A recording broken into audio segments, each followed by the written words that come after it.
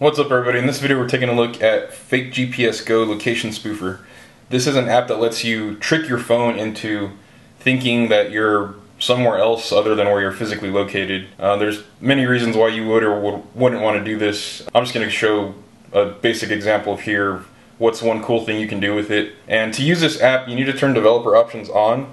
So I'm actually go ahead and open it, enable mock locations. Um, you need to go into the developer settings and then you can do that. So enable mock locations. Developer options is on. If you saw my previous video, I showed how to do that. So, so you're gonna find mock location app. You're gonna tap on that, and then you're gonna select fake GPS free. Okay, so there you have it. So let's go back to, oh, we're already in here. So back out. And because this is an ad-supported app, you have to agree to the advertising terms. Um, you can pay for the pro version, but if you're, for whatever reason, not wanting to pay for the pro version, there is the free version which is ad supported, so just keep that in mind. I'll go ahead and hit accept. And so it's showing Tulsa, Oklahoma for whatever reason. I'm going to zoom out because I'm not in Oklahoma, I'm actually in Texas. And I'm going to hit this little button here. That's going to find my current location. So I'm in San Antonio. Now the way it works to spoof your location is you go to the map and pick where you want to spoof your location to. So I'm going to pick yeah, let's go to Moscow. So I'm just going to double tap there, and then you're going to hit play. It says fake location engaged, and now the little blue dot is there.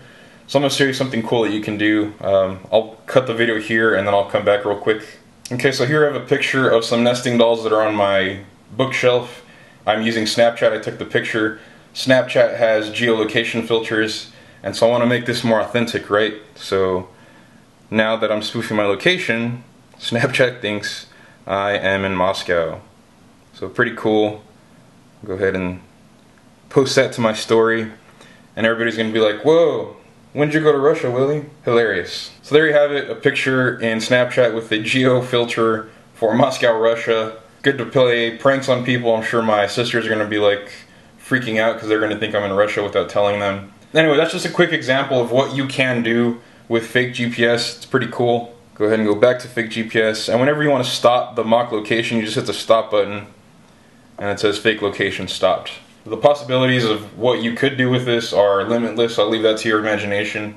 If you like this video, please give it a thumbs up. If you want to see more videos like this in the future, make sure to hit the subscribe button. If you have any questions, comments, or suggestions for me, you can find me on Facebook, Twitter, Google+, and Instagram. Until next time, take care.